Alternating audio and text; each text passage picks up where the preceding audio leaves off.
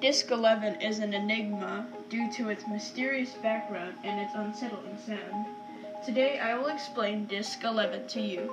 The disc takes place in a cave setting as someone is running away from something, an Enderman. But how do we know it was an Enderman? On September 29, 2011, C418 tweeted, After I take a bath, I'll promise I'll finish the Enderman sounds. This week has been filled with interruptions. Notch replied, At C418, did you see the title even shows up when hovering the item in inventory now?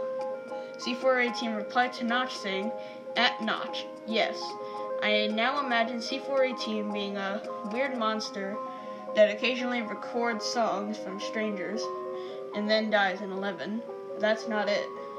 Listen to this death cry, 1 minute and 2 seconds into 11.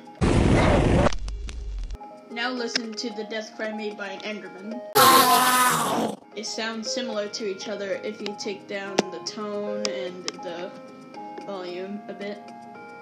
But anyway, now without further ado, I present to you Disc 11.